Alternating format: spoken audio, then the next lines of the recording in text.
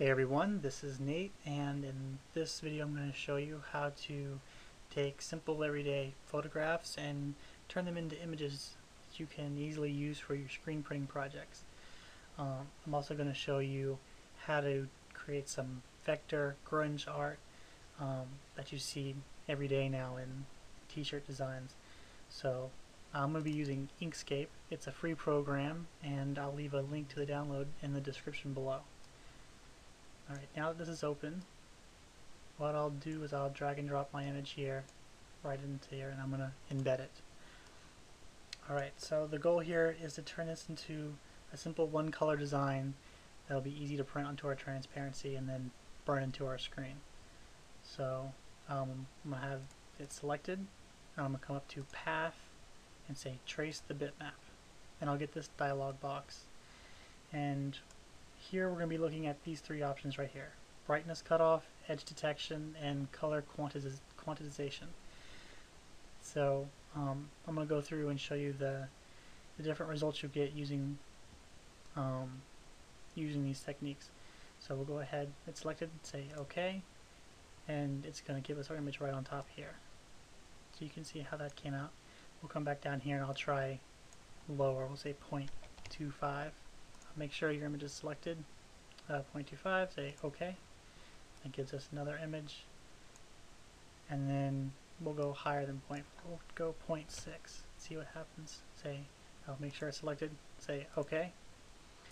And you can see that. Um, come down here and try edge detection. Make sure your uh, image is selected. Say OK. You can see how that gives you a different result. Um, Let's try roll low. Make sure image is selected, say OK. And lastly we'll try color quantization. Okay. So you, you can play around with this these different um, abilities with your image and see what comes out best.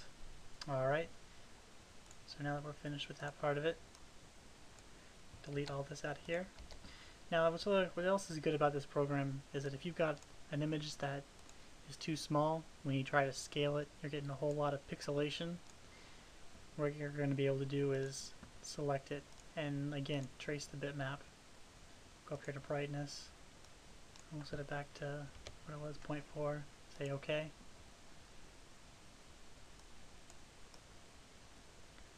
you can see that gives us a much crisper outline of the image here and then you're going to be able to um,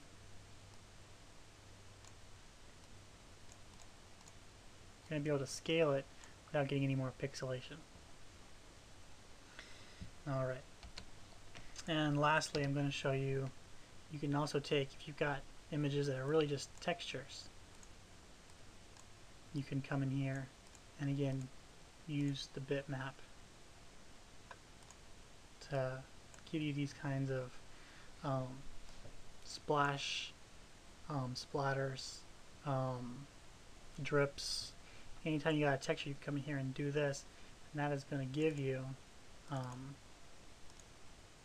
this kind of these kind of images you see all the time. These kind of textures that these uh, other websites are using. See these? It's kind of exploding, dripping, splashing be able to take any texture like that and you'd be able to create those kinds of um, vector grunge art for yourself. Alright, thanks for watching. If you found this helpful, please hit the favorite button. Uh, please subscribe. You'll be notified anytime I have new videos available. And if you have any more questions or want to see some more tutorials, come visit me at natescreenprints.com.